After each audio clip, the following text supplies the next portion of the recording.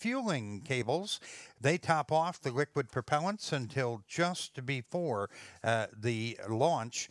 And uh, uh, that is uh, what uh, makes it possible for us to keep them full because the propellants are cold and it's very hot here in Kourou, so we have to uh, keep topping them off till just a few seconds uh, before uh, the launch. Uh, we are closing in on uh, the last minute of uh, the countdown. And you hear that the announcement that we're getting very close to that. And all the years of hard work coming down to this last minute. Top, à 0 moins une minute.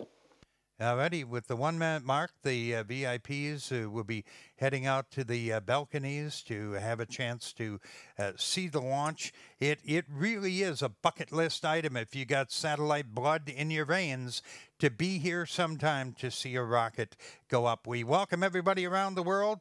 Live webcast at arianespace.com. Special greetings to our friends at Airbus Defense and Space in Europe, DirecTV at numerous locations around the country, ISRO in Bangalore, India, Space Systems Loral in America, all our industry partners, even DirecTV, people watching around the country on channel 9950.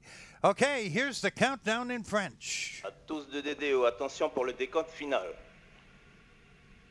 10, 9, 8, 7, 6, 5, 4, 3, 2, 1, top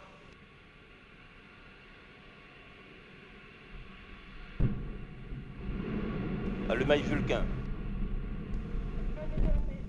Allumage 2 EAP.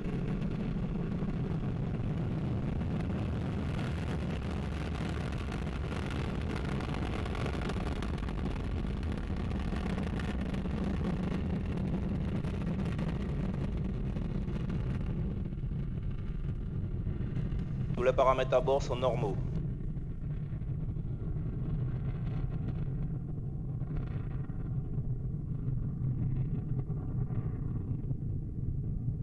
That rumble echoing across the Amazon jungle is the mighty Ariane 5 as it roars into the skies above Kourou. My seventh time I've had a chance to be here takes my breath away every time. 54 seconds into flight, Ariane 5 has already broken the sound barrier here in Kourou. The massive Jupiter facility is going to start shaking in just a moment, and we can begin hearing the sounds now. And there it is as the Ariane 5 roars out over Devil's Island and uh, into the sky above French Guiana. One incredible, powerful machine, 1,300 tons of thrust, breaking the Ariane 5 free from the bonds of Earth's gravity. 90% of that power right now, as this building just rocks, is coming from two boosters, each one of them 31 meters high, 100 feet tall. They're burning 240 tons of solid propellant in two minutes, more than two tons a second. Boy, it really gets your heart going when that baby jumps off the pad. When the boosters have done their job, and that'll be in uh, less than a minute from right now, Ariane will be 70 kilometers into the sky. It's already over halfway there and traveling at more than a mile a second, much faster uh, than a bullet. And look at those images as uh, we have just fabulous pictures of Ariane. You're going to see those boosters when they separate as they come up in just a couple of moments. We're tracking uh, uh the rocket from Galliot, a tracking station on a big hill right outside of Jupiter, and there it is. Watch those solid rocket boosters separate and we have just lost, my friends, 600 tons of weight. 600 tons as those two rocket boosters drop off.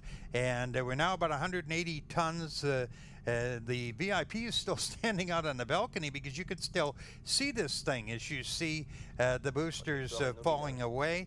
Uh, the lighter we are, the faster we go. Ariane's moving on out 2.14 kilometers per second. The magic number tonight is 9.3. 9.3 kilometers per second. The next uh, major event will be the jettisoning of the fairing, and uh, it will be uh, gone in just a few seconds. Uh, it's been protecting the satellites during the early stages of uh, the launch and while they were here on the ground.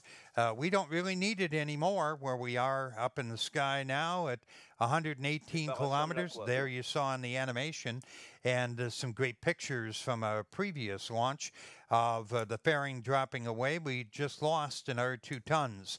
If you look on the screen, that uh, series of green uh, charts that we saw has been replaced by a curve, and there's a dot.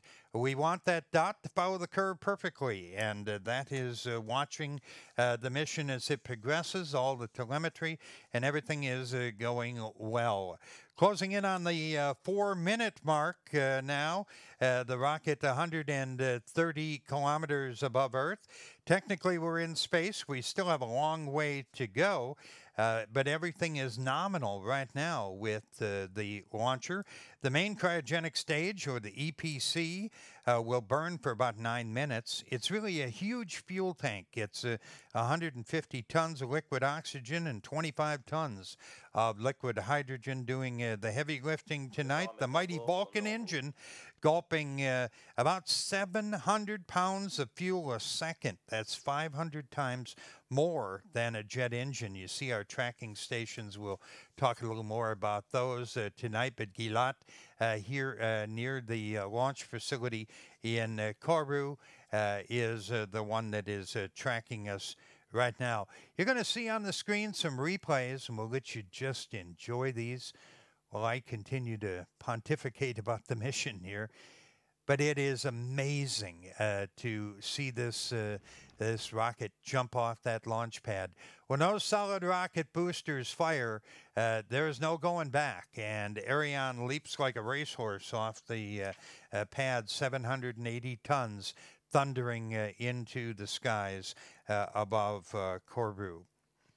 And again, at this point, we're five minutes 25 seconds in.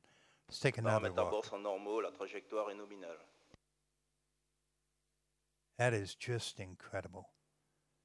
And if you think of the uh, the weather, again, we're supposed to be in the rainy season down here in French Guiana. I've been here in December when it was a wall of water falling from the sky, but Mother Nature really shined on us uh, tonight for a fantastic launch. You see the uh, images there, uh, animation of uh, the launcher.